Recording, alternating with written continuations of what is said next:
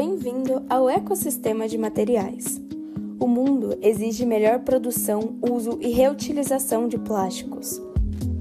Todos os dias, pessoas mudam a natureza dos resíduos com poder de compra e reciclagem.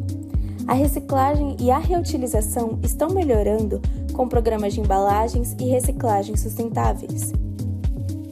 Especialistas inovam ao classificar e extrair valor de resíduos e o ecossistema cria novos empregos. A reciclagem mecânica e tecnologias avançadas permitem reciclar uma variedade mais ampla de materiais. A embalagem plástica deixa alimentos frescos e seguros da fazenda à mesa. E por meio da ciência e tecnologia, recursos renováveis como resíduos agrícolas e resíduos alimentares também podem virar plásticos. As embalagens podem ser projetadas para reciclabilidade e baixo carbono e ser produzidas com o uso de resíduos plásticos reciclados, cumprindo metas de sustentabilidade e simplificando a reciclagem.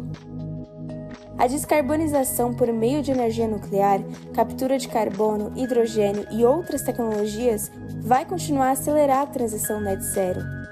Marcas têm metas de sustentabilidade movida pela demanda de consumidores.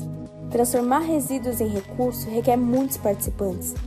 Decisores políticos, investidores e organizações sem fins lucrativos favorecem globalmente cadeias de suprimentos circulares.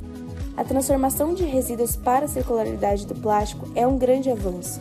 Na verdade, isso requer um sistema de coisas, pessoas e processos para que os resíduos possam atingir todo o seu potencial.